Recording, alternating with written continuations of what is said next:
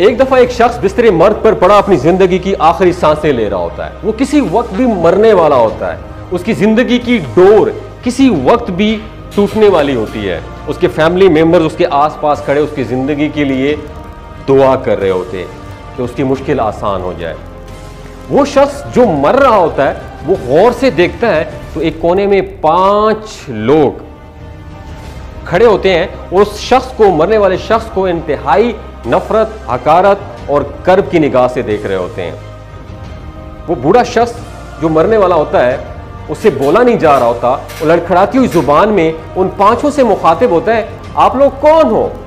और मुझे इस आखिरी वक्त में मैंने आपके साथ क्या बुरा किया है कि आप लोग मुझे इतनी नफरत, हकारत और कर्ब की निगाह से देख रहे हो?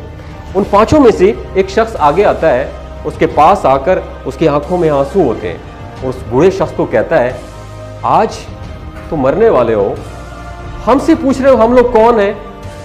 हम लोग तुम्हारा टैलेंट थे, तुम्हारा पैशन थे, तुम्हारे ख्वाब थे, तुम्हारी आरज़ू उमंगें थी जो अल्लाह पाक ने तुम्हारे अंदर हमें डाल के भेजा था।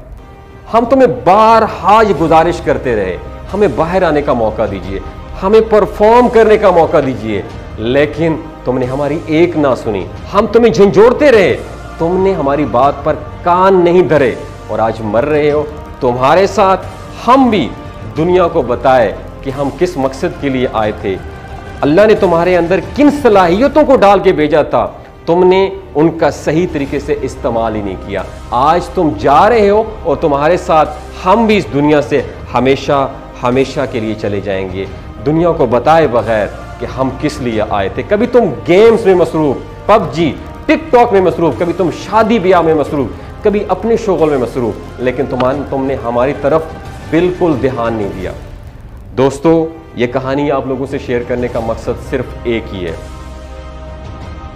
कि हर इंसान में बहुत से टैलेंट मौजूद होते हैं, लेकिन हर इंसान में एक टैलेंट मुनफरद होता है। टैलेंट उस सलाहियत और खूबी का नाम होता है, जो किसी शख्स को कुदरत की तरफ़ से अतिया की गई होती है।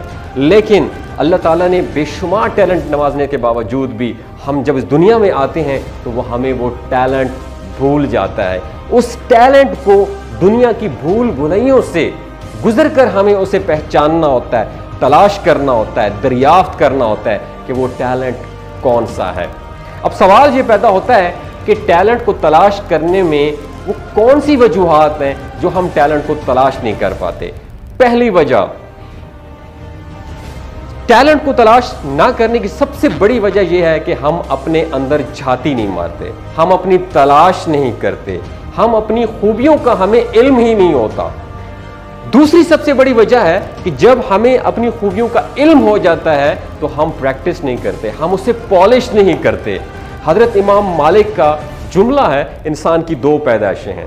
पहली पैदाइश, जब वो माँ के पेट से निकलकर इस ज़मीन पर आता है। दूसरी पैदाइश वो होती है, जब उससे ये मालूम होता है कि अल्लाह की इस बामकसद तख्लीक में मेरा क्या किरदार है। जब उसे ये पता चल जाता है कि मेरा क्या किरदार है, जब उसे टैलेंट का पता चल जाता है तो उसका आधा सफ़र तय हो जाता है। बाकी सफ़र वो अपने टैलेंट को दुनिया के सामने रखकर अपना और अपने साथ जुड़े रिश्तों की जिंदगियों को गुले गुलजार कर देता है।